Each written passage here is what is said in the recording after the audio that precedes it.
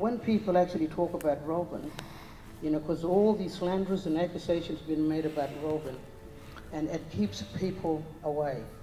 And it's, you know, put uh, fear and where they give people the wrong message.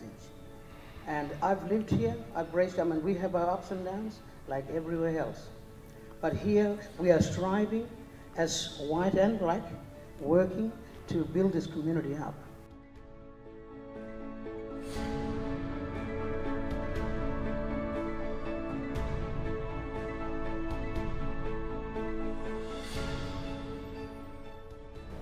Yeah, look, I've definitely been affected by the black dog. Um, early on in my playing career, um, when I was doing a diploma in Indigenous Studies, learning about my culture and my people, um, what happened to Australia since colonisation, I got very angry and upset about, um, you know, the things that had happened, and I, I really couldn't understand why we weren't taught this in school. And, and, a big part of me dealing with my anger is actually being part of the, the positive process, and that's telling the positive stories about being part of the positive um, programs that we are doing in our community to make us stronger and empower our people.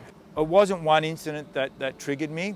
It was 23 years of just being, um, I always looked at it, being in the police, you've got a bucket, and, and, you, and that bucket's got holes in it and you've got to keep chopping it up. Uh, but I couldn't keep I couldn't keep the flow level anymore, and and, and I, I, went to my a psychologist that my friend put me onto, and uh, he said, "What do you want?" And, I just said, "I don't think I can cope anymore." He told me if I tried to push myself and continue, I'd probably end up killing myself.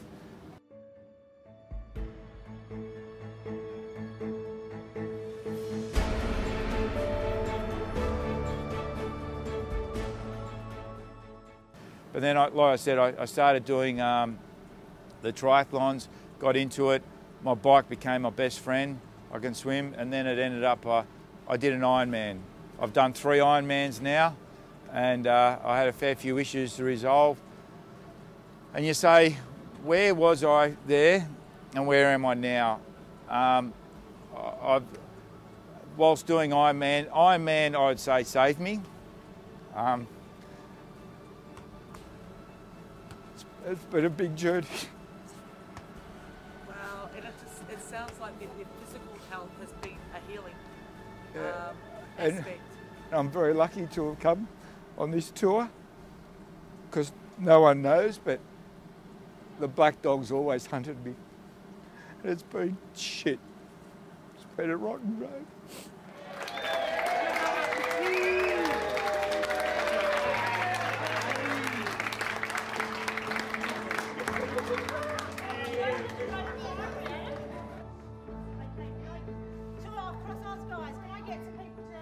Those people who have that hard-nosed approach about mental health haven't been touched by it. And unfortunately if the statistics say that they will or someone in their family or their close family group will be touched by uh, mental illness. And I think they'll have that'll change their opinion. So I think we need to talk more about it. We need to be more sensitive about the issues. And we need to think about doing positive things to help our people um, who have these mental illnesses who do suffer depression um, we don't just tell them to harden up, we actually give them a cuddle and say, Are you okay?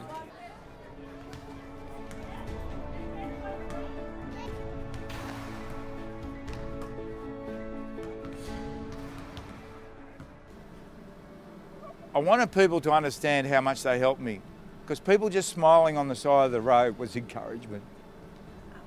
And, wow. and, um.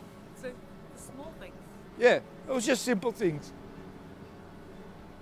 I, I was, my, my Ironman was pretty tough. If it wasn't for my family, my, my immediate family, my wife, I've got a, a daughter 25, son 22, and another daughter 19. They're, they're my core group. They keep me alive.